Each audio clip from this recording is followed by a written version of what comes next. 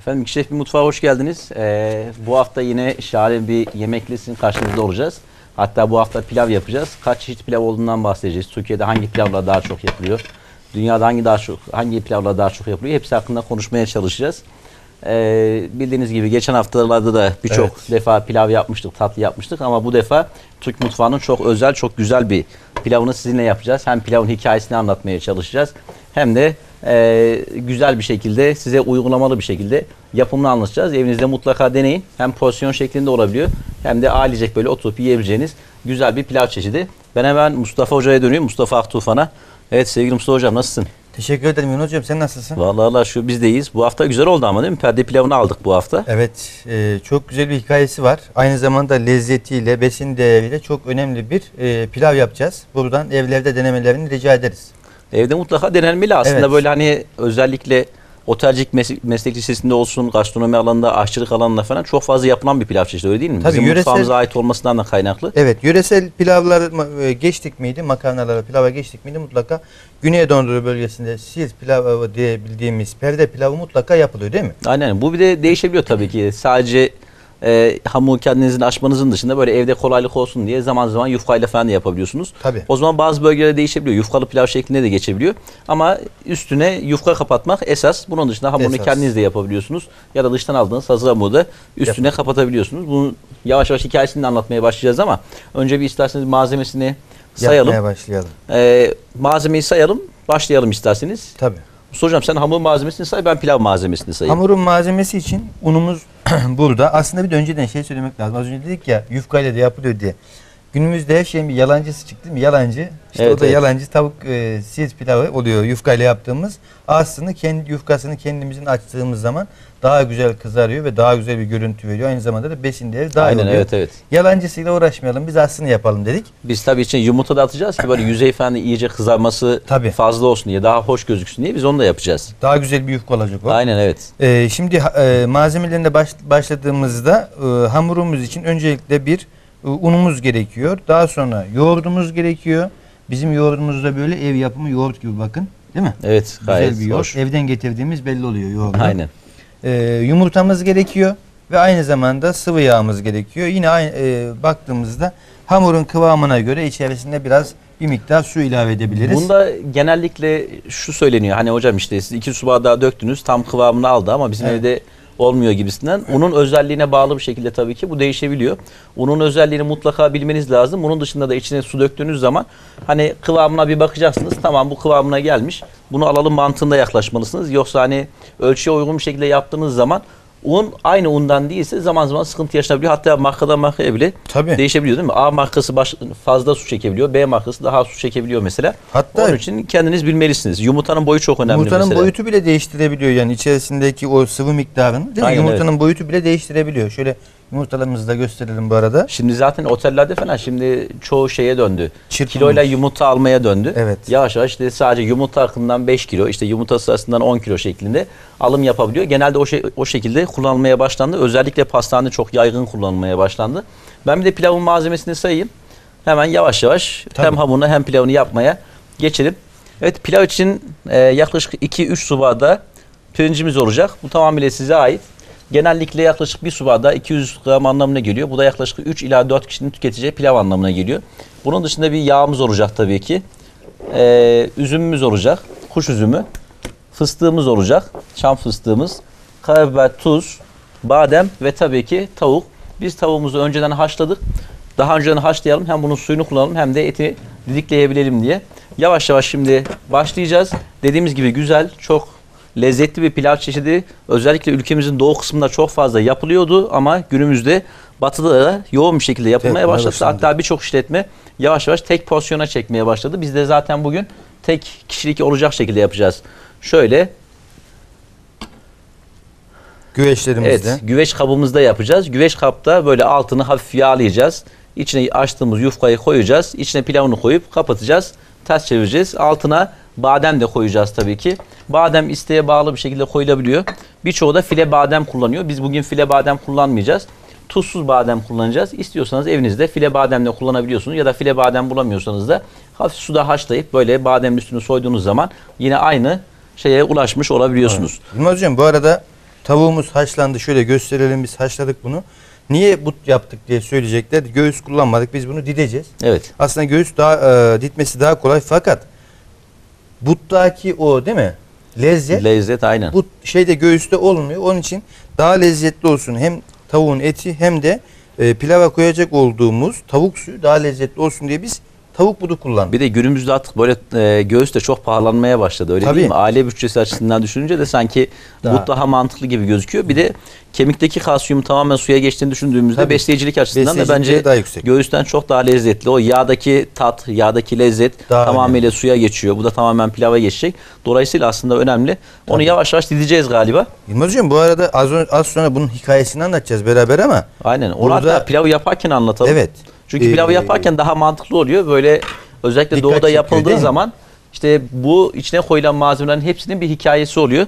Dolayısıyla biz de yapım esnasındayken bunların hepsinin tek tek hikayesini anlatmaya çalışalım size. Çok dikkat, dikkat çekici bir hikayesi olduğunda bilmelisiniz. Zaten bir yemekte hikaye anlatılıyorsa o yemeğin çok eskiye dayandığı, çok daha özel olduğu mutlaka bilinmeli. Evet, e, yavaş yavaş tavuğumuz haşlanmaya başladı. Biz de hamurumuzu yapmaya başlayalım. Ben hemen eldivenimi giyeyim. Mustafa hocam sen içine Ben- ilave et. ilave edeyim. Tavuğumuzu da çıkarayım da bu arada Tamam. soğumaya bırakayım. Tamam. Soğuyunca ben hamur yaparken sen de onu Gidelim. didiklemiş olursun. Evet biz 3 tane but aldık. Budun kilosu da ucuz ama şu anda. But ucuz 3 tane alalım bol olsun. Çünkü bizim Aynen. kameramanlarımız var. Çok sevdiğimiz değerli değil mi? Onlara- Aynen çok kıymetliler sağ olsunlar Evet. böyle bize yardımcı olan, destek olan her zaman için. Evet dediğimiz gibi un tamamıyla size kalmış. Nasıl yapmak istiyorsanız, hangi boyda yapmak istiyorsanız hepsi size kalmış. Çok özel, çok güzel bir pilav çeşidi. Çok fazla malzemesi olduğu düşüncesinde de değilim açıkçası. Malzeme konusunda oldukça uygun. Evet ben yumurtaları kırayım. Evet sen içine at Mustafa Usta. İki tane yumurta ilavesi yapacağız. Yapacağız.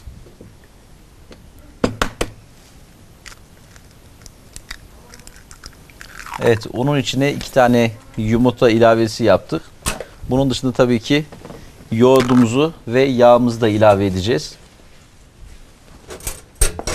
Ben dışının da böyle lezzetli olması açısından az da tuz ilavesi yapacağım. Tamam. Ben şöyle elimle hafif bir dokunayım.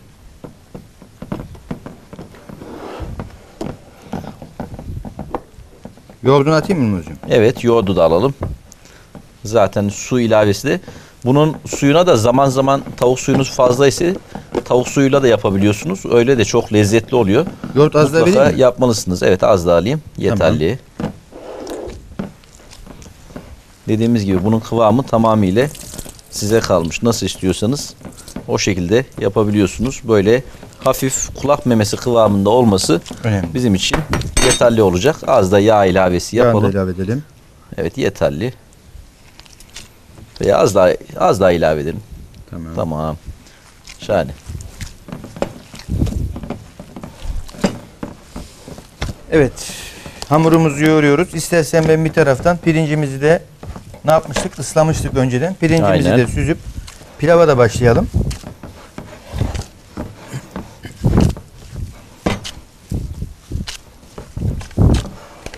Pilavımız için İki kişi olmanın da avantajı bu tabii ki. evet.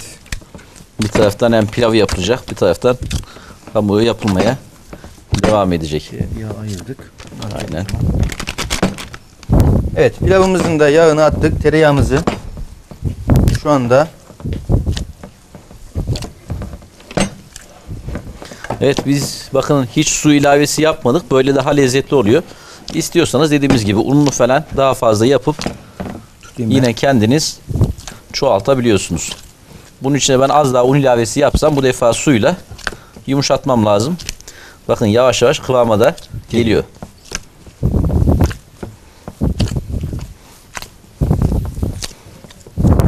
az una ihtiyacı var mı? Yo, yeterli gibi gözüküyor. Tamam.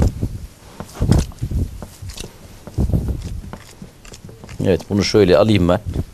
Evet. En son açma esnasında tabii ki yine un ilavesi yapacağız. kurumasın diye tabağımızı da ısıt, ısladım. Şu anda pilavımızın da bakın. Yılmaz hocam. Yağı eriyor. Ben bir taraftan da pirincimizi süzeyim. Tamam. Kaç tane yapacağız? Dört tane kabımız var galiba. Dört beze için şu hamur bize yeterli gibi gözüküyor.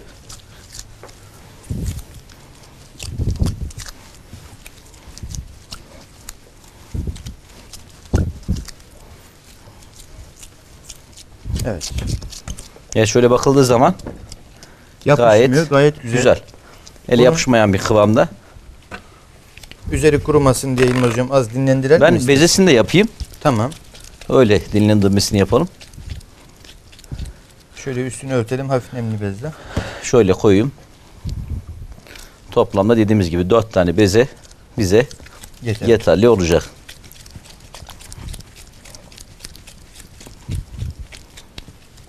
Yılmaz hocam bu hamuru yoğururken söyleyelim. Az sonra kapatacağız ama eee, perde pilavında yufka ne anlama geliyor? Yufka evet evdeki açığın kimseye anlatılmaması Evet. anlamına geliyor. Özellikle yeni gelin eve geldiği zaman kaynana alıyormuş. İlk önce bir perde pilavı yapıyormuş. Evet. Diyormuş ki bunu kapatmamın sebebi ne biliyor musun diyormuş. Bunu kapatmamızın sebebi aile içindeki hiçbir Bütün olay sırların. aynen. Hiçbir olay dışa yansıtılmamalı. Ailenin içinde kalmalı ve ailenin içinde çözülmeli. Aslında günümüzdeki en büyük sıkıntılardan bir tanesi galiba değil Tabii mi? boşanmalar daha çok nedir? Koruyucu anne babalardan kaynaklanıyor. Aman gelinim çok iş yapıyor. Aynen öyle. Değil mi?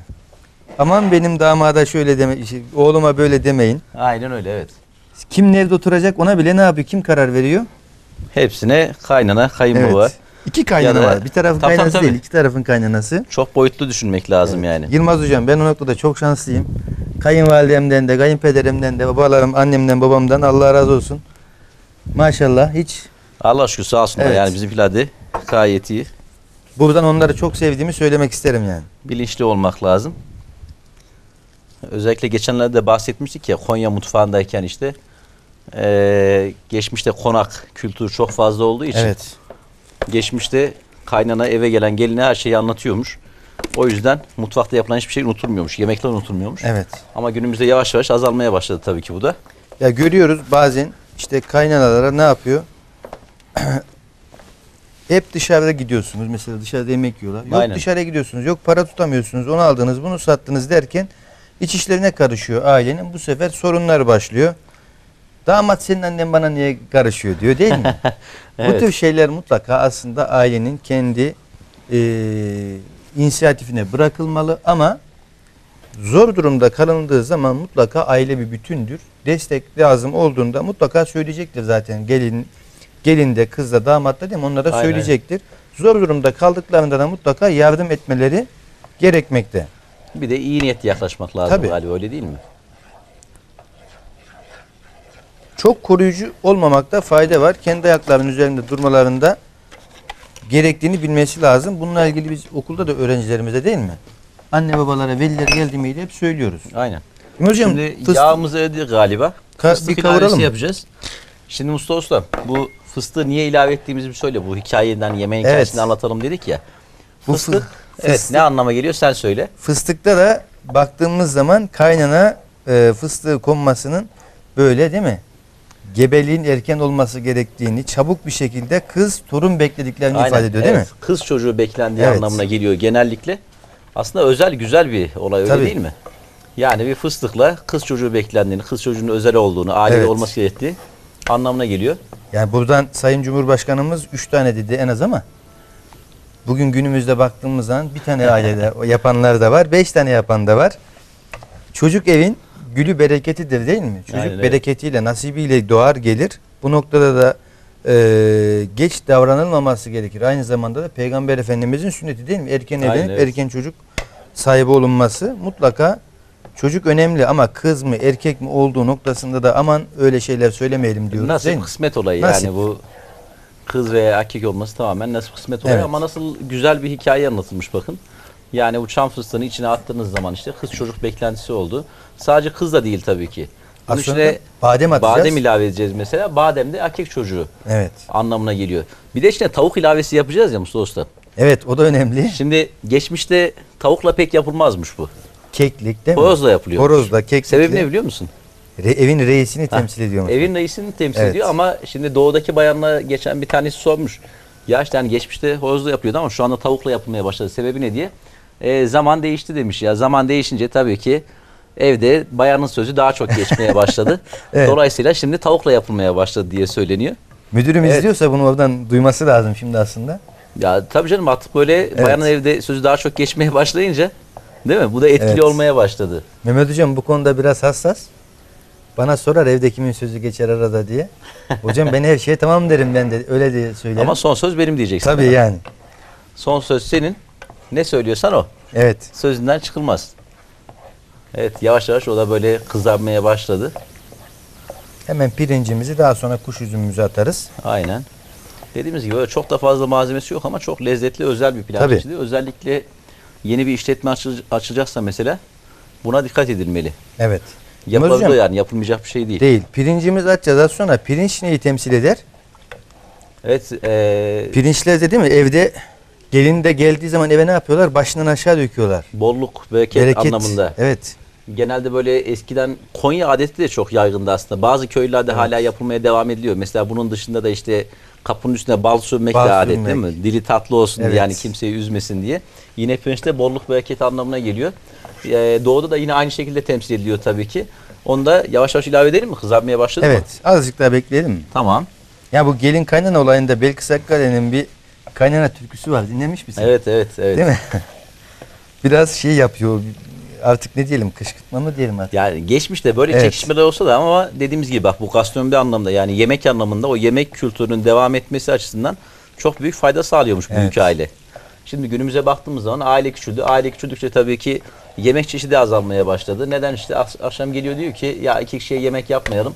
Dıştan isteyelim, dıştan Evet. yemek yiyelim. Mantığı çok fazla yerleştiği için yavaş yavaş da sıkıntı olmaya başladı aslında. Yemek kültürümüz unutulmaya başladı. Evet pirinci ilave edelim mi? Evet, pirinç ilavesini de yapalım. Bolluğumuzu, bereketimizi evin bolluk ve bereketini ne yapıyoruz şu anda ilave ediyoruz. Evet, evin bolluğu ve bereketi anlamına geliyor. Şu anda ilave ediyorum.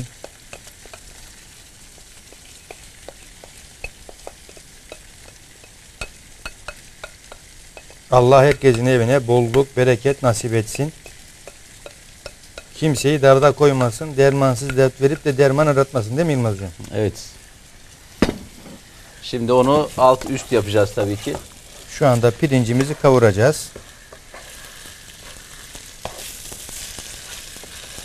Pirinç pilavı yaparken de aman pirinçlerin kırılmasını kırılmaması için özen gösterelim. Özellikle kevgir ile yaparken kevgiri tam pirincin ortasından değil mi Yılmaz Hocam?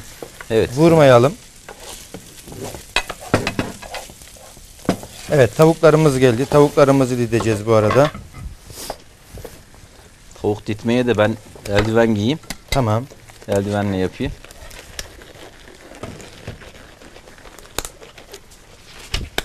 Evet. Tavuğun daha çok neyi yeniyor? Mustafa Ustam ne deniyor?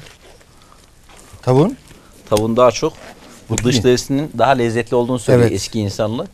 Ama biz bugün atmayalım olmazsa ya. değil tabii mi? özellikle ızgarada değil mi? Evet. Deri ayrı bir lezzet. Evet onun için biz atmayalım. Sadece iç kısmını, etini kullanalım. Evet. Dış derisinde çok fazla kullanmayalım. İsteğe bağlı. Tabii ki tavukta bulunan yağın da yaklaşık %80'i bu dış bölümünde bulunuyor. İçinde çok fazla yağ bulunmaz. Özellikle protein açısından çok zengin, sağlıklı. Kırmızı etten daha fazla protein bulunuyor içinde. O yüzden mutlaka tüketilmeli. Evet. Doğal bulabiliyorsanız tabii ki doğal tavuk daha iyi. Doğal tavuğun tek sıkıntısı da ne? İşte çok çabuk piş- pişmiyor, çok hızlı pişmiyor. Ondan dolayı sıkıntı olabiliyor zaman zaman. Yani burada aslında e, karıştırılıyor. Organik tavuk diyorlar mesela değil mi? evet. Veya gezen tavuk diyorlar veya işte besleme çiftlik tavuğu diyorlar. Şimdi burada çiftlik tavuğundan eğer normal şartlarda üretiliyorsa korkmamak lazım. Aynen, Niye? evet. Kontrollü bir ortam var orada. Ama siz e, gezen tavuk diye tavuğu saldınız ortalıkta geziyor. İçtiği su bile ne yapabilir değil mi? Bozuk Şimdi olabilir. gezen tavuk deyince de yanlış anlaşılabiliyor aslında. Evet. Mesela kafes böyle az büyükse bura Evet. gezen tavukta nitelen, nitelenebiliyor. Evet. Bazı kafeslerde mesela tavuk olduğu yerde büyüyor. Yani çok fazla hareket etmeden büyüyor. Buna gezen tavuk denilmiyor. Evet. Hani hangi niyetle satıldığı da çok önemli. Ya da işte bu özellikle yumurta tavuğu belli bir yaşa gelince yumurtadan kesilmeye başlayınca alıp gezen tavuk diye satılıyor. Çünkü eti böyle hafif de siyaha dönüyor ya. Evet. Sanki köy tavuğuymuş gibi, gezen tavukmuş gibi oluyor. Ona da dikkat edilmesi lazım. Maalesef gıda konusunda birçok hile yapılabiliyor. Dikkat edilmeli mutlaka. Bilmez hocam az sonra içerisine kuş üzümü atacağız. Aynen. Değil mi? Aynen evet. Bunu da söyleyelim ne anlama geldiğini. Kuş üzümü Sağlıkla. sağlık anlamına geliyor. Yani ailenin sağlık içinde hayatına devam etmesi anlamına geliyor. O yüzden bu da önemli bir konu aslında. Evet. Bu arada telefonu unutmuşuz. Canlı yayında oluyor bazen ya. Geçenlerde biliyorsun bizim de olmuştu. Evet. Zaman zaman canlı yayın kazası. Ama arayan inşallah Olabilir. hayırlı bir haber. Öğrencimiz, e, üç öğrencimizi İstanbul'a e, yemek yarışmasına göndermiştim. O mutlaka Şahane. dedim haber verin demiştim. Büyük bir ihtimalle Allah'ın izniyle olumlu güzel haberler var. Maşallah sizin çocuklar bayağı çalışıyor galiba. Geçen de ödül almışlardı öyle değil mi? Evet Bursa'dan 3 tane bronzla dönmüşlerdi. İnşallah bu ekibimiz de güzel çalıştılar. E, olumlu bir haber var diye düşünüyorum. Çocuklar çalışıyor yani öyle mi? Yani öğrenciyi girişimci ruhu aşılamak lazım diye düşünüyorum. Girişimci olsunlar, e, pısırık olmasınlar, kendilerini ifade edebilsinler diye mümkün olduğunca biz yönlendirmelerimizi bu noktada yapıyoruz. Çünkü turizmci, turizmci insan karşısındakinde empati kurabilmeli değil mi? Aynen öyle evet. Karşıdakini çok iyi anlayabilmeli. Girişimci özelliği olmalı. Tavuğumuzu da didiyoruz. Evet ben tavuğu az böyle kalın ditmekteyim. Öyle sevdiğim için. Evet. Böyle ince ince ip gibi olunca açıkçası benim çok hoşuma gitmiyor. Şöyle hafif ağza gelmeli. Bir de özellikle but almamızın sebebini söylemiştik. Daha lezzetli oluyor. Daha hoş oluyor. Zaten danada da olsun, kuzuda da olsun, tavukta da olsun. But demek haşlama demek. Evet. Haşlanmış et de genellikle buttan oluyor tabii ki. Ön koldan oluyor.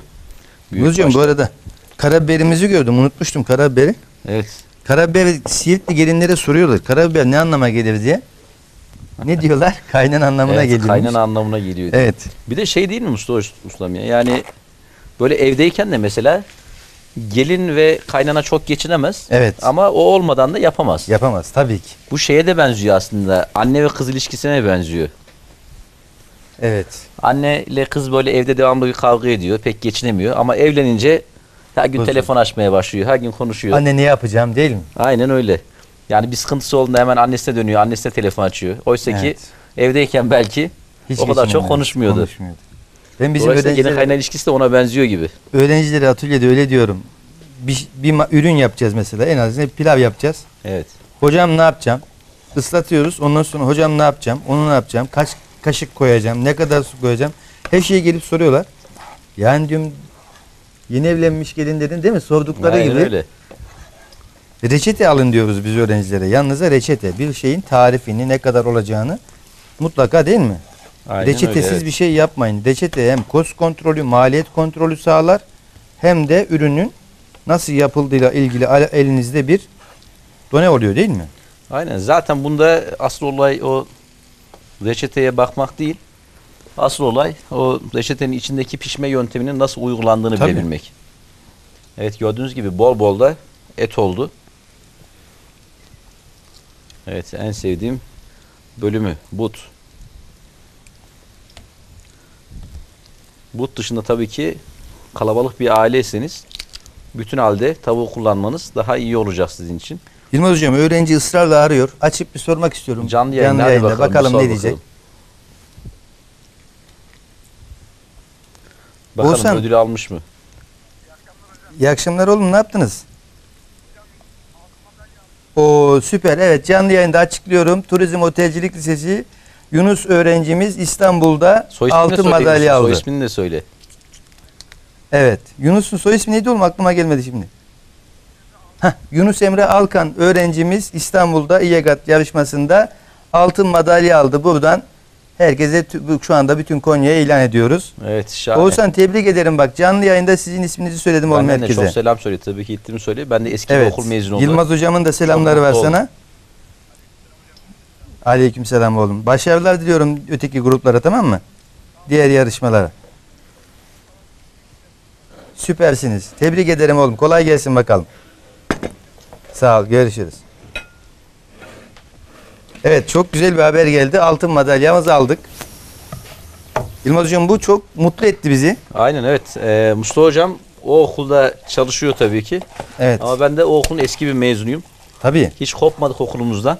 Bize çok şey kattı otelcilik meslek lisesi. Bu meslekte devam etmemizin, bu Evet. meslekte büyümemizin en büyük etkenlerinden bir tanesi meslek lisesi. Yılmaz hocam o noktada zaten daha inşallah seni okula çağıracağız. İnşallah inşallah her Kariyer günlerinde okulumuzun en büyük gururu diyoruz değil mi? İnşallah yani biz daima okulumuzun yanında olduk. Yine her zaman için olmaya da Evet. devam ederiz. Böyle güzel konularda geliştikçe bizi mutlu ediyor tabii ki. Hak ettiği noktaya gelmeli mutlaka. Konya otelciliği, Konya turizm. Kuş üzümümüzü hak atalım mı Yılmaz gelmeli. Tamam. Kuş üzümümüzü de ilave edelim. Zaten sonuna geldik. Evet. Şimdi biz tavuğu tabii ki en son atacağız.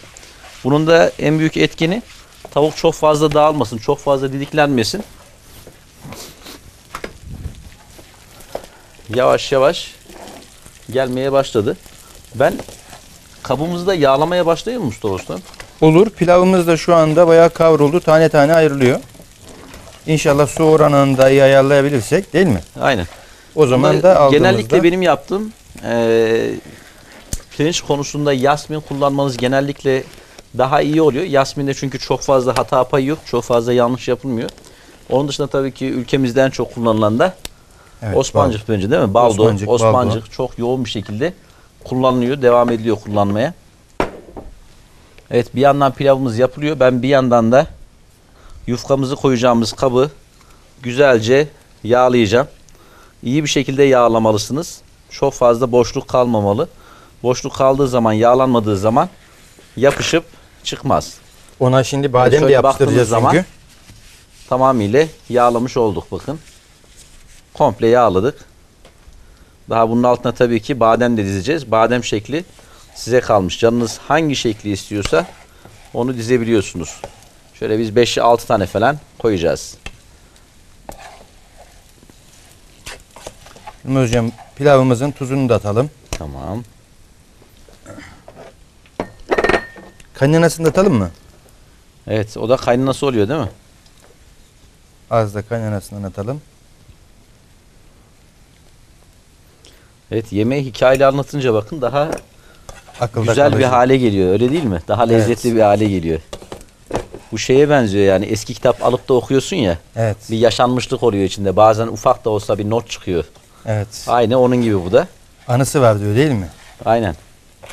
Dolayısıyla bir anısı olması daima daha çekici, daha cazip olmasını sağlıyor.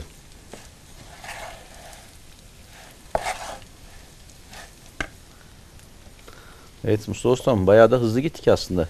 Evet şimdi Hem pilavımızı yaptık hem hamurumuzu yaptık. Şimdi hamurumuzu da az açıp devam edeceğiz. Dediğimiz gibi bir tek bademimiz kaldı. Bademi içine de atabiliyorsunuz, dışına da atabiliyorsunuz. Biz dışına atacağız. Kameraman arkadaşlar dedi ki dışta olsun dedi. Daha güzel gözüküyor dedi. İyi dedik biz de madem. Fırınımızı açtık. 180-200'de pişmesini sağlayacağız. evet altın madalya acayip bir bize ne yaptı?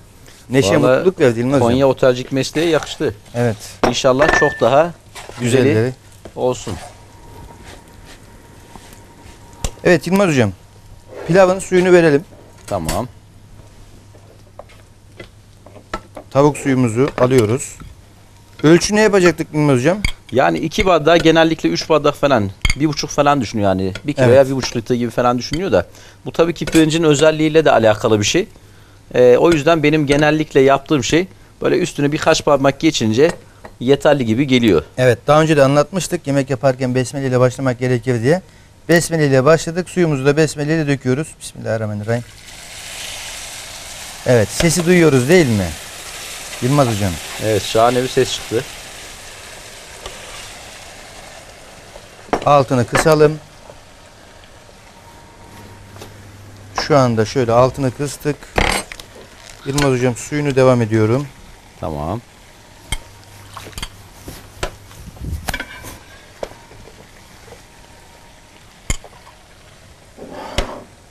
Ben de bu esnada badem dizmeye başlayayım mı? Olur. Dediğimiz gibi böyle üstünü yaklaşık bir parmak geçince yüksek ihtimalle yetecek. Evet. Bademle belli bir şekil istiyor musun Mustafa Usta? Şöyle yıldız gibi bir şeyler. Şöyle bir dört tane koyayım bir tanesine. Bu arada sevgili Ali Çalık ustamız da ufak bir rahatsızlık geçirmiş şu an hastanede. Evet. Çok selam söyleyelim kendisine. Geçmiş olsun. Geçmiş olsun inşallah. Konya'nın çok kıymetli, değerli bir ustası. Bizim için çok kıymetli. Allah acil hem dostluğu hem ustalığı. Çok kaliteli bir insan. Altını bir açalım. Yılmaz Evet. hocam şöyle suyu iyi gibi ama azıcık Tamam, gerek yok. Evet böyle şeylerde genellikle benim söylediğim şey az yapıyorsanız evde 5 dakika yüksek ateşte 5 dakika orta ateşte. 5 dakikada kısık ateşte yaptığınız zaman hemen altını kapatacaksınız. Beklemeye başlayacaksınız. Evet şu anda pilavımızı da koyduk. Pilavımızın bir dediğimiz gibi 5 dakika yüksek ateşte içerisine koymuş olduğumuz suyun kaynamasını bekleyeceğiz. Bademlerimize Evet, de şekil bademi de verdik. Dizmeye başladık. Tabii Çok ki güzel. otelde böyle bir şey yapamazsınız ama biz yayındayız şu anda. Zamanımız da çok olduğu için güzel bir Evet. şekilde yaptık. Bakın hepsini farklı yaptık. Buna mesela 6 tane koyduk. Buna 4 tane koyduk. Ötekine 5 tane koyduk. Hepsine çekebiliyor muyuz şöyle yakından? Evet hepsine az az koyduk. Toplamda dedik 4 tane yapacağız. Evet. Kalanını da böyle hiç içine koymadan yiyeceğiz. Hepsini bu şekilde bakın 4 tane, 5 tane, 6 tane tamamıyla size kalmış. Güveç kabına koyduk. Genellikle bunlar zaten tek porsiyon olacak şekilde tüketiliyor. Tek porsiyonda yaklaşık 50 ila 70 gram çiğ pirinçten yapılıyor. Dolayısıyla eee, yaklaşık bir su bardağıyla dediğimiz gibi 3 ila 4 kişi Doyabilir. doyabiliyor. Yılmaz hocam bu mutlu haberi okul müdürümüze bildirelim. Evet selamımızı da ilet. Evet. Mustafa Hoca heyecanlandı şimdi canlı yayında böyle bir Çok güzel bir haber. Yani çok mutlu oldum. Evet.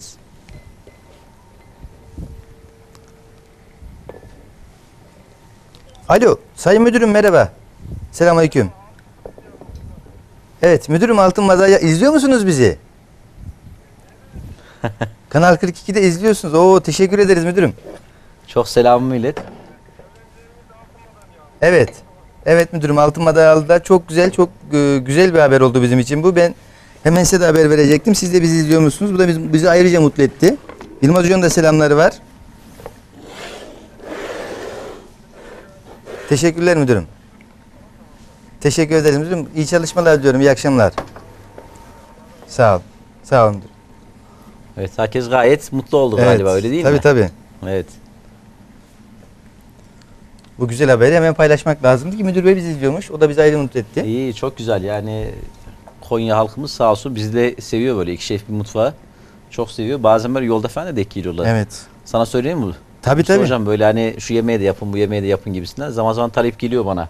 Öğrenci şeye otele alışverişe gidiyorum bazen ya da öğrencilerle Hı hı. veliler geliyor. Veli geliyor diyor ki seni diyor bir yerden tanıyorum diyor.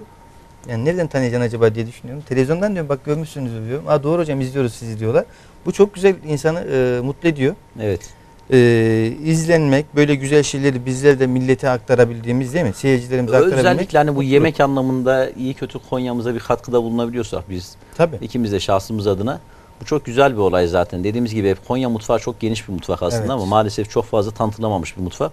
Böyle ufak tefek de olsa hani kendi yayınımızda, kendi programımızda e, buna biz katkıda bulunabiliyorsak bu bizi zaten ziyadesiyle mutlu ediyor. İnşallah yakın zamanda da zaten Konya mutfağı ile ilgili güzel de bir çalışmamız olacak, Evet. kitap çalışmamız. E, ben daha da iyi bir noktaya geleceği düşüncesindeyim. Konya'nın. Yani benim söylediğim şey yani Antep mutfağından bizim neyimiz eksik? Tabii ki. Antep mutfağına oldukça yakın bir mutfak. Hatta belki unutulmuş lezzetler böyle ta Selçuklu mutfağını kendinize mal edebiliyorsanız, kendinize ait olduğunu düşünüyorsanız neden Evet. Konya mutfağı dünyadaki en iyi mutfaklardan bir tanesi haline gelmesin? Tabii bu 5 yıldızlı otellerde de şu anda Selçuklu mutfağıyla ilgili çalışmalar var. Ee, bunları gezdiğim zaman otellerde görüyorum ben. Büfelere şimdi koymaya başlamışlar. Özellikle alakart restoranlarında e, Selçuklu mutfağıyla ilgili menüler var. Yani otel ismi vermeyelim buradan ama e, bu çalışmalar bizi ziyadesiyle mutlu ediyor. Niye? Aynen evet. Sahip çıkılması gerekiyor. Ben hep şunu söylerim. Bir, biz şu malzemeyi alabiliriz. Paramız vardır alırız ama Siz ekonomik davranmak istiyorsanız bu malzemeye sahip çıkmak zorundasınız. Buna sahip çıkmazsanız devamlı dışarıdan almak zorunda kalırsınız. Bu size zarar verir zaten. E bizim de kültürümüz var. Kültürümüz ama tanımıyoruz. Aynen evet. Özellikle yeni nesil bu noktada çok zayıf kalıyor. Ee, kültürümüzü aktarabilmek lazım, tanıtabilmek lazım ki gelecek nesillerde devam etsin bu. Değil mi? Aynen öyle evet. Evet Yılmaz Hocam şu anda pilavımız ee, pişmesini bekliyoruz. Suyunu çekmeye başladı. Kapağını bir açalım mı? Bir göstereyim mi? Olur. Çok da güzel bakın. Tam Şu böyle anda- kıvamına gelmeye yakın. İyice suyunu çekmeye başladı. Tereyağı nasıl gözüküyor ama? Değil mi? Evet. Üstten çok hoş gözüküyor. Ve dediğimiz gibi hani böyle pirinçlerin hepsinin belli bir çeşidi oluyor. Hiç siyah pirinç yediniz mi tam emin değilim ama siyah pirincin mesela en büyük özelliği çok geç pişmesi. Onda daha fazla pişme işlemine tabi tutmanız lazım. Bu yasmin dediğimiz bir pirinç. Yasmin genelde ince uzun bu Amerikan pirincine çok benzeyen bir çeşidi mevcut. Ee, özellikle Özbek pilavı yapımındayken mesela çok fazla kullanılan bir teknik. Bunun dışında bazen söyleniyor ya hocam işte hani pilav hep aynı teknikle mi yapılmalı? Başka bir teknikle yapılamıyor mu diye. Pilavda 3 tane teknik kullanabiliyorsunuz. Özellikle diyet yapıyorsanız mesela daha sağlıklı beslenme açısından haşlama pilav yapabiliyorsunuz. İşte suyunu bol koyup su iyice kaynayınca pirincini içine atıp onun nişastasının tamamen suya geçmesini sağlayıp kalan kısmını başka bir kaba alıp o şekilde tüketebiliyorsunuz. O şekilde e, diyet yapanlar için gayet sağlıklı. Bunun dışında salma tekniği dediğimiz bir teknikle de yapılabiliyor tabii ki. O zaman mesela işte dedik yani bir kiloya yaklaşık bir buçuk litre falan su dökmeniz lazım. Bir buçuk litre suyu döküp güzelce kaynatıyorsunuz. İçine bir kiloluk pirincinizi ilave ediyorsunuz. Akabinde hiç kaşık değmediği için pirinçte bir kırma meydana gelmiyor. Dolayısıyla salma pilav da aslında gayet kaliteli, gayet lezzetli bir pilav çeşidi.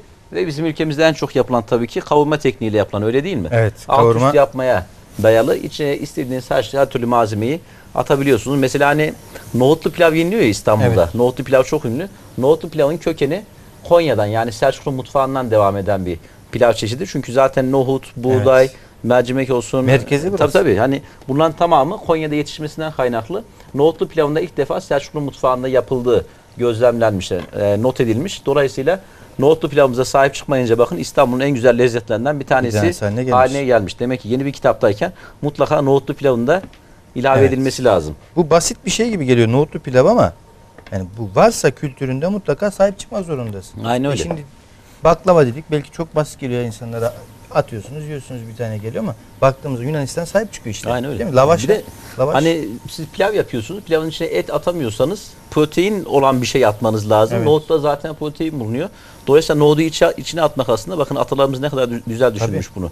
Hani belki protein hakkında işte yağ hakkında e, ne bileyim karbonhidrat hakkında çok bilgisi yok ama Evet. Bunların hepsini bir şekilde yemeğin içine atmış ve bunların hepsini kullanmış. Daha sağlıklı beslenmiş. Dolayısıyla biz de baktığınızda et bulamıyorsunuz. İçine bir tutam nohut atıp yine aynı şekilde bu pilavı da yapabiliyorsunuz. Faydalanırız. Nohutlu pilavı yapabiliyorsunuz ama Doğu'nun tabii ki en büyük özelliğine et. et. Yani böyle bu pilav ana yemekten işte hemen önce veya ana yemek esnasında gelen bir pilav çeşidi. Çok da besleyici bir pilav çeşidi. Hani bazı bölgelere baktığınızda belki de ana yemek kıvamında. Tabii tabii. Öyle değil mi? Tabii. Ana yemek kıvamında bir pilav çeşidi. Dolayısıyla bol miktarda doğuda tüketiliyor. Ama Tüketiliyor. onlar için tabii ki kırmızı et ana malzeme. Ana malzeme. Onun dışında tabii ki tavuk, böyle horoz, böyle av eti falan Yani da bunu, daha böyle aperatif gibi oluyor değil mi? Atıştırmalık gibi oluyor. yani bunu siz kuzu etiyle şimdi yapsaydık biz bunu değil mi? Aynen evet. Kavurma of. Yani daha güzel bir lezzet elde edebilirdik ama az önce söyledik keklik veya horozla da yapanlar var. Aynen evet. Keklik deyince de benim Ermenek aklıma geliyor. Kekli ile ünlü. Horoz deyince de Denizli aklıma geliyor. Bu arada haftaya Denizli'de olacağım ben. Ee, buradan Usta Denizli'deki... hocam maşallah geziyor öyle. Şimdi haftaya Evet. Denizli'ye gidecek. Deniz'de bir kalite kontrolü yapacağız. Evet galiba, yine bakanlığımız, bakanlığımızla alakalı kalite tetkik değerlendirmeleri var. Bunun için haftaya Denizli'de olacağım. Denizli'deki arkadaşlarımıza, eşimize, dostumuza söyleyelim. Buradan Konya'dan bir istekleri var mı? Varsa hemen iletişime geçsinler. Gidince bana iyi bakın de Getirelim. mesela söyle. Tamam mı?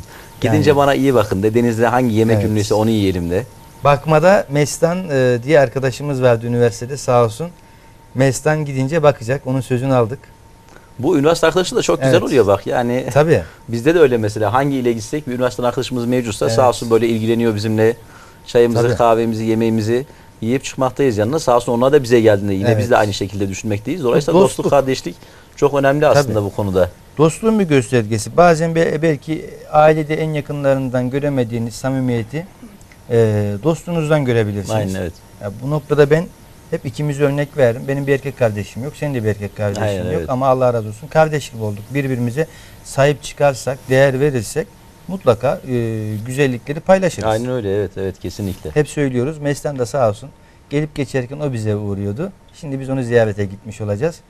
E, ilgi ve alakası Dönem dönem gitmek önemli yani unutulmaması anlamında da yani iyi bir dostsanız zaten 10 yıl bile bir iletişiminiz olmasa 10 yıl sonra telefon açtığında yine aynı samimiyeti yakalayabiliyorsanız Evet. bu da önemli güzel bir dostluk çeşidi. Buradan Sıla-i Rahim var. Değil mi? Sıla-i Rahim Aynen öyle, evet. lazım. Hocam nasıl? Hemen hemen e, dakikasını bulmak üzere. iki dakika daha. Bu bekledik miydi? Şöyle bir bakalım. Oo, İsterseniz bir gösterelim şuradan. Şu anda nasıl şahane olmuş? gözüküyor bakın. Tane tane pirinci sayabiliriz. Gerçekten su kıvamı bakın değil mi? Aynen evet. Sıvı kıvamı çok güzel olmuş. Az daha yakınlaştırabilir miyiz acaba? Ben kalan bademleri de içine attım. Evet. Elimizde kalmasın diye gayet de hoş gözüküyor, lezzetli Oo, gözüküyor. bakın buradan Yılmaz Bakın Hocam bak. böyle fıstığı değil mi? Böyle kız Evet. çocuğu, erkek çocuğu, sağlığı, Kardeşler. bolluk, bereket değil mi?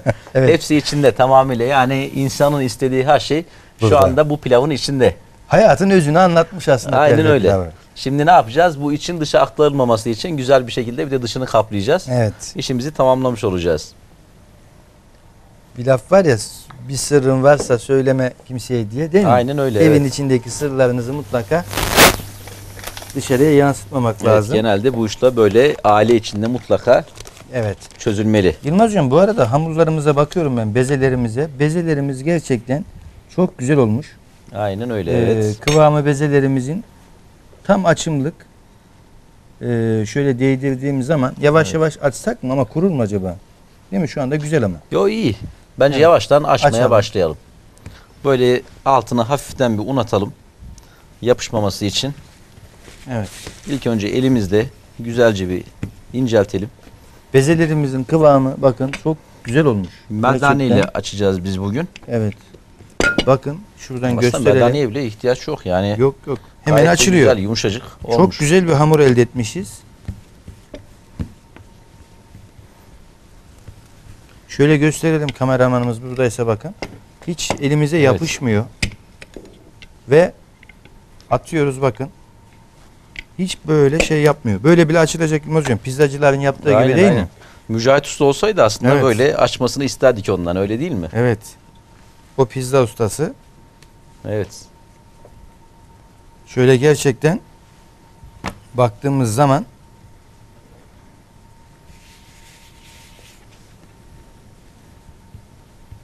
hamur hamur olmuş yani değil mi? Aynen öyle. Biz dediğimiz gibi su da atmadık. Böyle Evet. yumurtada olunca eskiden böyle sadece yumurta ve un eşliğinde genelde erişte falan çok fazla Evet. yapılıyormuş, kesiliyormuş. Çok fazla su ilavesi yapılmazmış. Evet. Şimdi hemen alalım bir tanesini içine koyalım. Şöyle bekletelim değil mi? Aynen. Dışına sarkan kısımlarını sakın atmıyoruz. Dışına, Dışına sakın üstünü kapatacağız onunla. evet, üstünü onunla kapatacağız. İşte gizli sırları böyle kapatacağız. Değil mi Yılmaz hocam? Aynen öyle. Şimdi mesela pilavımızı içine koyunca Evet. ne yapacağız? Pilavımızı da yandan üstüne tamamen kapatacağız. Böylece tamamen kapalı Hocam bir su şöyle- haline gelmiş olacak. Ben biraz açtım. Tamam Sana şahane. vereyim. Ben Hemen. de az unlayayım şöyle. Bu arada pilavımızın altını kapatalım mı? Değil mi? Zamanı geldi herhalde. Evet merdane hiç ihtiyaç Şöyle. yok. Tamam. Pilavımızın altını kapattık şu anda. Evet biz bunu yine açmaya devam edelim o zaman. O esnada bir reklama gidip gelelim mi? O esnada hem bunların hepsini hazırlamış olalım. Evet. Fırına atalım. Akabinde gelince de Kapatmasına bakarız. Fırından çıkınca. bakalım. Evet, Şu anda zaten- iki tanesini gösterdik. Bu ikincisi. Şu Hamuru da ama hamur olmuş. Gerçekten çok hoşuma Evet gitti hamur. çok güzel, hoş bir hamur elde etmişiz. Şöyle. Evet, Tam hepsini- baklavalık açmalık hamur olmuş aslında. Aynen öyle. Evet.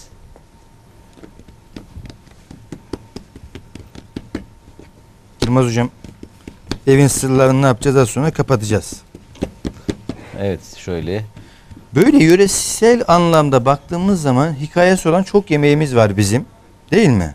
Aynen Ama eskiden gerçekten yaşam yaşamlar böyle hikayeler, türkülerimiz var mesela değil mi? Aynen kesinlikle. Ee, ağıtını da, neşesini de, üzüntüsünü de türküyle, yemekle değil mi anlatmışlar yani.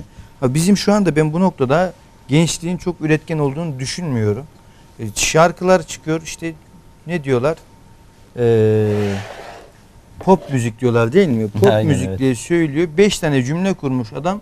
15 dakika o 5 cümlenin içerisinde şarkı söylüyor. Yani bir anlamı yok. Bir e, hasleti yok. Herhangi bir manası yok. E, Aynen öyle. Dertlenmemiş yani bir şeyle dertlenmemiş. Sadece ben çok özür dilerim de böyle bir iki oynamakla ben onu yapamıyorum şimdi burada. Bu, e, dünya geçmez. Masterchef'te yapıyorlar bazısı ya. Yani Değil ben mi? onları o, o tür şeyleri pek anlamıyorum. Bana Türk halk müziği olacak. Evet. Hani belki kişiden kişiye değişir diyeceğiz bunu ama yani bir dertlenmelerini bekliyorum yani. Bir şeyle dertlensinler evet, yani. değil türkümüz olacak değil mi? Bol miktarda. Evet. Evet. hemen tavuğunu da ilave edip yavaş Pilavı- yavaş üstüne içine koymaya başlayalım mı? Az demlenmesini bekleyeyim mi bir 5 dakika? Bir çok zamanımız kalmadı galiba. Ondan dolayı dedim. 10-12 Tamam. dakikamız kaldı. Hemen açıyorum o çok zaman. zamanımız yok. Ben hemen tavuk ilavesini yapayım. Evet, pilavımızın üstüne tavuk ilavesini de yapalım. Şimdi hemen harmanlayalım. Karıştırmayla ilgili getireyim şeyimi. Yanıma alayım artık. Oo, Oo, evet. pilav ama bakın. tane gösterebiliyor tane muyuz şu anda? yakından. Bakın pilavımıza. Çekebilir miyiz? Evet. Pilava bakın şöyle ben bir karıştırayım. Tane tane gayet hoş, gayet Yani burada Güzel söylemek olmuş. istemiyordum ama usta pilavından belli olur. Değil mi Yılmaz hocam? eskiden Yani. Osmanlı'da Evet. padişah bir aşçı alacağı zaman Evet. pilav yaptırmış. Pilavı en güzel kim yapıyorsa Evet. onu alıyormuş sahaya, o kişi hizmet ediyormuş. Yani. O yüzden pilav çok önemli bir konu. Usta pilavından belli olur derler. Yılmaz hocam güzel olmuş. bak. Aynen öyle. Bu Evet, arada- çok lezzetli gözüküyor, hoş Evet. gözüküyor. Şöyle tane tane pirinci say yani. Şimdi bunu harmanlayalım, güzelce Evet. koyalım.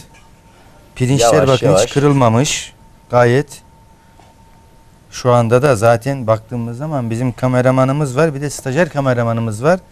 İkisi de şu anda değil mi? Program bitse diye bekliyorlar diye düşünüyorum. Aynen öyle. Hemen şöyle yapayım mı? Ben doldurayım. Tamam. Çok fazla basmadan koymaya Evet. dikkat edin. Şöyle bol pilav şeyli olsun. Aynen. Tavuklu. Eti tavuğu az daha koyalım. Tamam. Çünkü pilavımız bayağı çok Evet. oldu. Biz tabii ki kabı mümkün olduğunca az tuttuk. Yeter. Pilavı sade bir şekilde yiyelim tamam diye aynı hocam. şekilde. Evet, işimiz bitince şu şekilde kapatacağız. Onu da gösterelim. Şu şekilde. Gizli sırları kapatıyoruz şu anda bak. Aynen evet. Üst üste gelmemesi istenebiliyor zaman zaman ama bence ekmek kıvamında oluyor. Yani Evet. üst üste gelmesinde de çok bir sıkıntı Yok. yok. Zaten ters çevirdiğimiz zaman hepsi O oval kalacak. gayet hoş oluyor. Evet bu tamam. Hemen bunu da koyalım. Hatta şöyle alayım hepsini de. Evet. Şunları şöyle yapayım mı? Koydukça o kendisi düşer zaten. Otursun.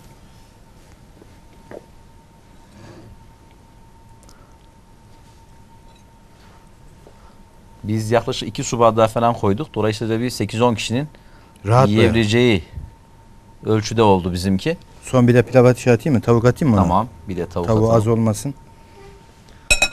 Tavuk bol olsun öyle değil mi? Evet. Usta ustam sen onu koymaya devam et. Tamam. Ben de şunu kapatayım. Evet. Altını yağladık ki çıkması esnasında bir sıkıntı olmasın. Bu arada şunu da söyleyelim. Biz şu anda güveçlere koyuyoruz ama bunun özel bir pilav kabı var değil mi? Siirt perde pilavı özel kabı var. Evet. Onda da yapabilirsiniz. Evinizdeki kek kalıbında da bunu yapabilirsiniz. Bu biz sufle porsiyonluk, falan da oluyor aslında. Onda da gayet Evet. hoş oluyor, güzel oluyor. biz porsiyonluk istedik. Porsiyonluk koyalım dedik. Ee, bu şekilde servisi daha kolay olur. Evet, işletmede falan da yapısı aslında hoş olmaz mı? Evet olabilir. Bugün en son Sinan hocam vardı. Oteldeydim ben. Ee, uygulama otelinde. Sinan hocam dedim perde pilav anlatacağız bugün dedim. Oo çok severim ben dedi. Sinan hocam Konyalı galiba öyle değil mi? Evet. Ama Siirt tarafında çalışmış o. Öyle mi? Evet.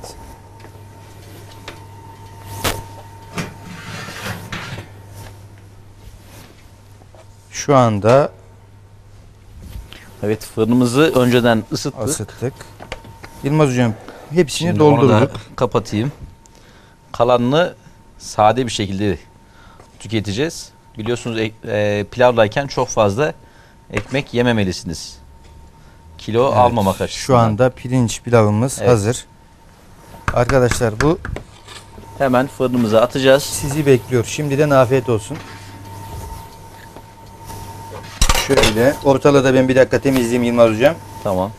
Biz de ediyorsanız böyle bir yandan yemek yapılıyor, bir yandan temizlik yapılıyor. Çünkü temizliğe dikkat etmezseniz zaten yaptık, yaptığınız yemeğin hiçbir önemi yok. Yemek bizim için önemli olduğu kadar hijyen de çok önemli. Tabii ki herkes hijyen hijyen diye bahsediyor ama ne kadar dikkat ediyor buna da bakmak lazım. O yüzden genellikle evinizde yemek yemeyi tercih edin bence. Bunun dışında işte dışa çıktığınız zaman mutlaka güvenilen işletmeyi tercih etmeye çalışın. Özellikle günümüzde biliyorsunuz zaman zaman et konusunda falan da e, hata yapılabiliyor. Yani et konusunda genelde Şöyle. yurt dışından geldiği için çok insanlar sanki istediği sağlıklı eti bulamıyormuş gibi geliyor. Sanki evde yemek daha mantıklı gözüküyor. O yüzden kendi yemeğini evde yapıp evde tüketmek Kendin, daha evet. sağlıklı galiba öyle değil mi? Tabii ki. Çünkü hijyene ben çok dikkat edildiği düşüncesinde değilim birçok işletmede. Yani bazı yerlere gidiyoruz. Soruyorum acaba burada hasip belgesi var mı diye. Hasip hijyen belgesidir. Var diyorlar yani varlığı yoklu bir diyorum yani. Olmasa da olabilirmiş. Değil mi? Aynen. Madem aldın bunun kurallarını, prosedürünü uygulaman gerekiyor. O prosedüre uymazsan o belgenin bir anlamı kalmaz. Ama bizim şu anda ülkemizde bakıyoruz. Ehliyeti var herkesin. Araba sürüyoruz. Maalesef bir ayaya yol vermekten, ambulansa yol vermekten gerçekten aciz insanlarımız var. Aldığımız belgenin uygulanması, kurallarına uygulanmasını lütfen dikkat edelim. Ceza ile terbiye ed- etmeyelim birbirimizi değil mi? Aynen öyle. evet. Ceza yerine kural neyse ona uygulayalım. Dolayısıyla dediğimiz gibi hijyen önemli bir nokta. Yemek yapmak dışında hatta yemekten çok daha önemli olan şey hijyen, sanitasyon. Çalıştığınız alanı güzel bir şekilde temizleyeceksiniz. Evdeyseniz dahi bir yandan yapacaksınız, bir yandan temizleyeceksiniz. Tabii ki evde eşiniz varsa bizde genelde öyle oluyor. Evde sağ olsun genelde eşim bana yardımcı oluyor. Evet. Ona ben söylüyorum. Ben yemek yapıyorum, o temizliğini yapıyor. Öylesi daha mantıklı aslında öyle Tabii. değil mi? Yani ustanın yanında mutlaka bir tane de çırak olması lazım. Buradan mesajı da hemen vermiş olayım. yemek yaptığımız zaman dikkat etsin, bize yardımcı olsun. Yoksa yemek yapmayabilir usta öyle değil mi? Evet. Ustayı yani memnun etmek lazım. Yani evde ben yemek yaptım dedi. Çocuklar ikinci gün diyor baba hep sen yemek yap diyorlar. Bu da O olmuyor. da çok tehlikeli. Evet. Onun için fazla işi eve taşımamak lazım değil yani mi? ben bazen diyorum ki bizim oğlana yemek güzel olunca oğlum bak bu yemeği kim yapmış diyorum. Baba sen yapmışsın belli zaten diyor. Dolayısıyla hani Evet. yine de dediğin gibi yani böyle çok işi eve taşımamak Faydalı. en iyisi, en sağlıklısı. Zaten biz dışta fazlasıyla yemek Yap- yapıyoruz işte. Bizim e, benim dersim olduğu zaman haftada bir 30 çeşit falan Evet. yemek yapıyoruz. Yani bazı Çok. ustalar yüksek ihtimalle belki hayatı boyunca 30 çeşit yemek yapmıyor. Evet. Bizim mesleki anlamda hani eğitimci olmamızın avantajı da bu. Birçok çeşidi aynı anda yapabiliyorsunuz. Aynı haftada 30 çeşit yapabilmek böyle çok da kolay bir şey değil. Bunun devamlı değişmesi çok kolay bir şey değil. Bir de toplamda 13 haftanın Tabii. işte 10 haftası uygulama yapsak biz 30 çeşitten 300 çeşit farklı yemek çeşidi yapmış oluyorsunuz. Çünkü aynı çeşidi bir kez daha Tekrar yapamıyorsunuz. Dolayısıyla 300 çeşit yemek yapmak demek insanın belki Çok hayatı büyük. boyunca birçok ustanın yapmadığı bir konu. Yani evde 300 Dolayısıyla evet. yemek kimse yemiyordur. Ay, evet evet ama bu yemek yapımı esnasında ben eğitimcilere de söyleyeyim buradan özellikle KOMEK'te olsun, Evet. milli eğitimde olsun ya da işte üniversitede olsun yemek yapımınız esnasında mutlaka kendi mutfağınızda işin içine katın. Evet. Antep mutfağından da anlatın, ne bileyim işte İstanbul mutfağından anlatın, Konya mutfağından anlatın, Adana mutfağından anlatın. Bunların tamamı özel mutfak zaten. Bunun dışında tabii ki ta Hitit mutfağından anlatabiliyorsanız Tabii. onu da anlatın. Selçuklu mutfağını da anlatın ki önce bu bölgede yaşan, yaşanmışlığı e, yemeğinize yansıtmaya çalışın. Akabinde zaten dünya mutfağını yavaş yavaş Görmüş yapmaya çalışacaksınız. Süre az kaldı azalttırdım şeyini. Tamam. Ya bu hafta mesela 30 saat dersimiz var. Kokteyller, balıklar, salatalar her şey yaptık biz de. Öğrencilerimizi buradan tebrik ediyorum. Ee, çok güzel çalışmalar vardı. Bu arada hocam bize de selam söyle dediler. Otelde çalışan bizim Ahmet e, ve e, Kaan mı? Kaan var. Onlar Evet. hocam bize de selam söyle dediler. Onları da unutmayalım buradan. Ee, selamlarımızı iletelim. Ahmet'le Kaangil bizim öğrencilerimiz otelde şu anda çalışıyorlar. Ee, onların devamlı çalışması, pratik yapmaları çok güzel bir şey. Ee, çok mutlu oluyorlar bu noktada. Mustafa Hocam bizi böyle çok izleyen oluyor da biz bundan böyle şey yapalım mı? Bir de WhatsApp numarası. Zaten canlı yayındayız. Bir Tabii, WhatsApp tabii. numarası ekleyelim. Yani bir şey falan sormak istediğinde insanlar en azından hemen anında cevaplamış olalım. Yani bizi gördüğü zaman sormasın ya da sadece bize sosyal medyadan yazınca Evet. sormuş olmasın. WhatsApp'a canlı yayına WhatsApp'ımızı koyalım. Hemen Herkes bize bağlanalım. ondan ulaşsın. Hemen bakalım buradan da. Evet. Ne söylüyorsun? Senin o köşe müsait zaten. Tabii, tabii. Hemen olmazsa iki dakika bakarsın. Ocağın yanı. baka- şey yapalım, cevaplamaya çalışalım biz de. Tabii güzel. Bazen çünkü ev hanımları şey yapıyor. Mesela geçen ben bir e, konuşmaya katılmıştım. Onda ev hanımları şey dedi mesela işte buzdolabı nasıl temizleniyor? Hani nasıl Evet. kokusuz olması lazım? İşte yemek piştikten sonra nasıl soğutmalıyız bunu? Ya da sütü aldık nasıl muhafaza etmeliyiz gibisinden Evet, çok sorular fazla soru soruyor. geldi. Hani bunlar da dahil olmak üzere mesela işte bu hafta pilav yaptık. Bu pilavın işte kaç çeşidi yapılabiliyor? Başka Evet. mesela örgü pilavı var biliyorsun. Evet. Aynı yufkayı açıyorsun böyle ince ince kesip iç içe geçmesini sağlayıp Evet. öyle öyle de yapabiliyorsunuz. Tabii. Dolayısıyla bunların tamamı aslında özel pilav çeşidi. Evet. Ee, biz bu hafta pilav yaptık. Pilav hakkında soru alsaydık keşke. Tabii Ya tabii. da işte önümüzdeki hafta başka bir şey yaptığımızda bu defa onunla ilgili Sorular alsa. sorularımızı alalım. Ya da düşüncelerini ilesinler. İzlemekten belki de çok mutlu oluyoruz diyecekler. Aynen. Ya da eleştiri vardır. Belki Ee, bir dahaki hafta yani ilgili. şöyle bir yemek yapın diyecek. Evet. Bize bir tavsiyede bulunacak. Hani bize de uygunsa neden olmasın? Neden yapmayalım? Tabii buradan e, değerli program şefimiz Erkan Bey'e değil mi? Evet. Bunu iletelim.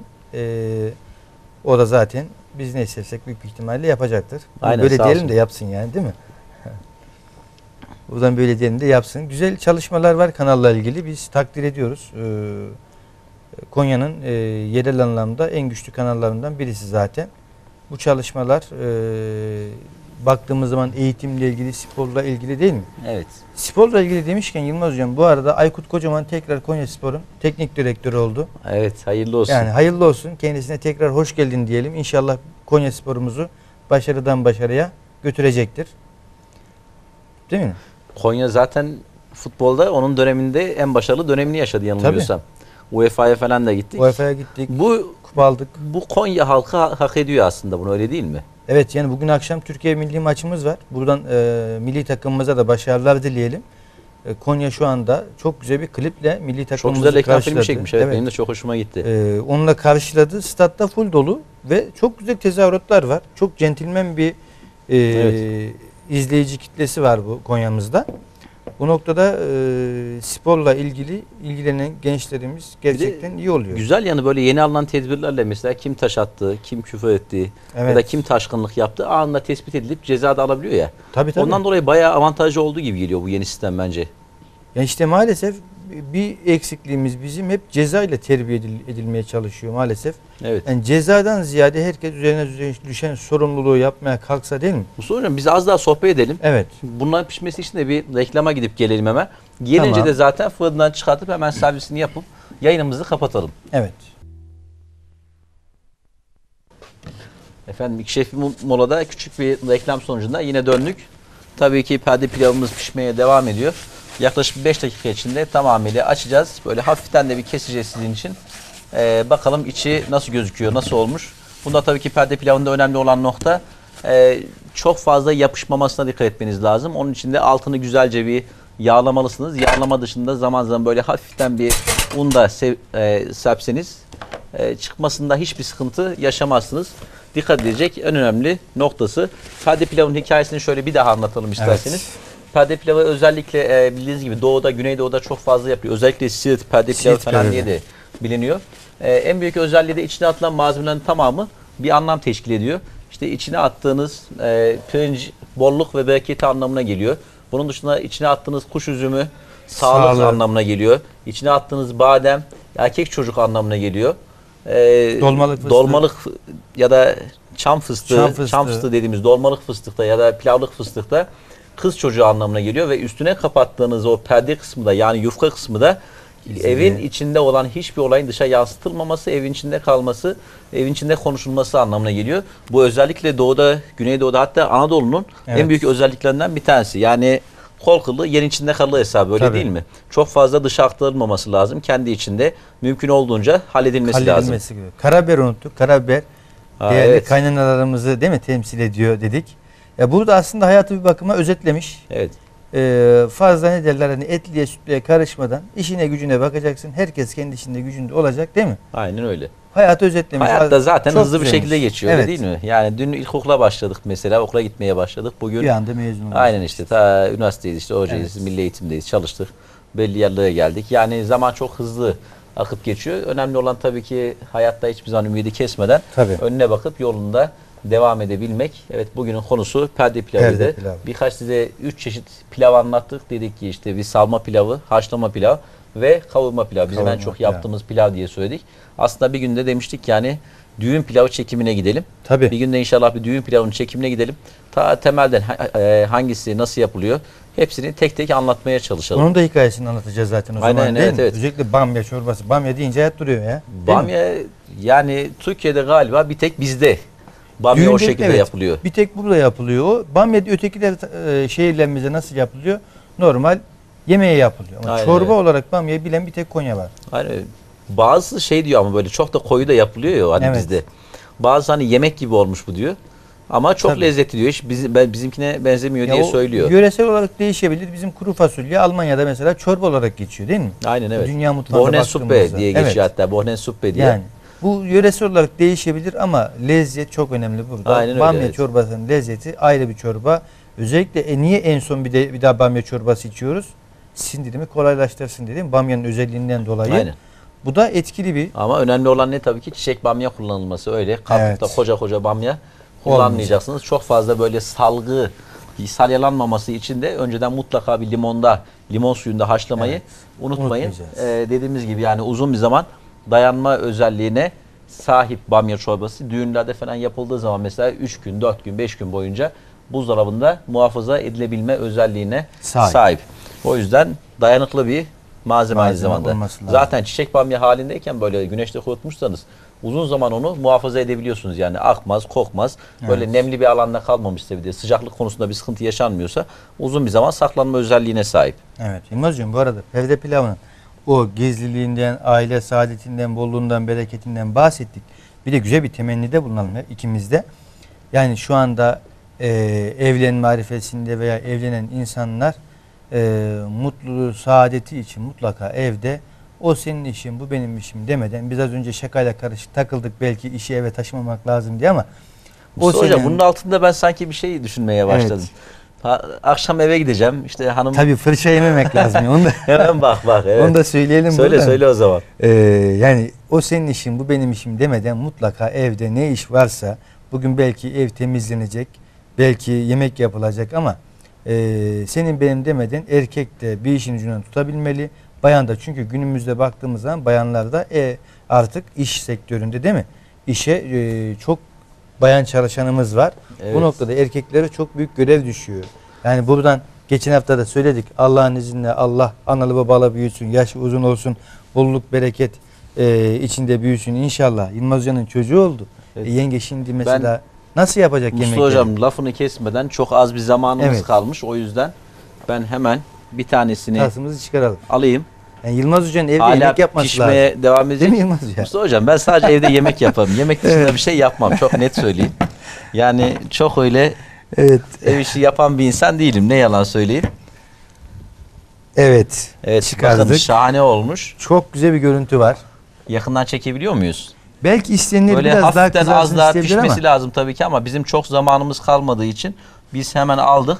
Bir 5-10 dakika daha pişse aslında tam kıvamına gelecek. Şöyle hafiften bir zaten kızarmaya başlamış. Bıçakla da bir keselim mi? Üçgen keselim. Bunun bir fotoğrafını alayım Yılmaz Hocam Tamam. burada. Çünkü e, görüntüsü gerçekten çok güzel olmuş. Belki az daha kızartabiliriz ama Tabii tabii bizim çok zamanımız yok. Evet. Biz yayını kapatacağız. Tabii ki e, yayın, yayın bitince yine şöyle devam edeceğiz. İki Şef Bir Mutfak sayfamızı takip eden değerli izleyicilerimiz var. Onlar eee, ne yaptığımızı bizim sosyal ağımızdan Evet da ben takip hemen bir tanesini böyle üçgen şeklinde Sen keselim. bölerken buradan tekrar bir söylemek istiyorum. Bugün çok mutlu bir haber aldık. Şöyle yapalım. Evet. Bakın Şöyle görüntüye. bakın. Bunu da çekelim. Evet Çok muhteşem gözüküyor. Bakın. Güzel gözüküyor. Mutlu bir haber aldık demiştim. Sevgili okul müdürümüz, değerli okul müdürümüz Mehmet Çorak Beyefendi de az önce tekrar görüştük. O Otelcilik Lisesi, Turizm Otelcilik Lisesi öğrencilerimiz İstanbul'da yemek yarışmasında altın madalya aldı. Bir öğrencimiz Yunus Emre Alkan ama e, yarın tekrar e, grup yarışmaları var. Orada da öğrencilerimize başarılar diliyoruz. Uygulama Oteli, Turizm Otelcilik Lisesi öğrencilerinin başarıları sizler sayesinde oluyor. velilerimizin mutlaka daha çok ilgi alaka gösterip sektöre devam etmesi lazım diyorum. Evet, e, dediğimiz gibi çekeyim. pilavımız da bitti. Mutlaka evinizde denemelisiniz. Kesinlikle e, Türk mutfağının dünyaya hediye ettiği çok güzel pilavlardan bir tanesi. Perde pilavı özellikle doğuda ve güneydoğuda çok yaygın yapılan ama yaptığınız yemeğin de hikayesini bilin diye bugün hikayesini de anlattık. E, haftaya yine aynı gün ve aynı saatte yine sizinle olacağız. E, Mustafa Hocam son bir şey söylemek istersen Evet. hemen yayınımızı kapatalım. Sonuna geldik. Haftaya görüşmek üzere seyircilerimize buradan hoşça kalın diyoruz. Sağlıkla ve mutlulukla kalın. Evet. Evet. Haftaya Hoşça aynı gün saatte görüşmek üzere.